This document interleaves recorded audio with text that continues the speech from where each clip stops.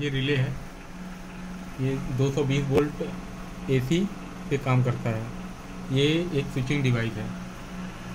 जो आपको आपको अगर मान लीजिए कन्वर्ट करना है 220 से 24 वोल्ट डीसी या 24 वोल्ट एसी में तो इस रिले रिले का हम यूज़ करते हैं। जैसे मान लीजिए हमारा आ, ये रिले लगा है और हमको किसी डिवाइस को 24 वोल्ट सप्लाई देनी है। तो उसके लिए हम क्या करेंगे, इस इसके जो A one A two connection होता है, इस रिले को एनराइज करने के लिए, जो कनेक्शन है उस पर हम 220 वोल्ट डीसी देंगे 220 सॉरी 200 220 वोल्ट एसी सप्लाई देंगे एंड जिस इक्विपमेंट को हमको 24 वोल्ट देना है, उसको इसके चैनल के थ्रू हम 24 वोल्ट सप्लाई हम फ्लो करा देंगे।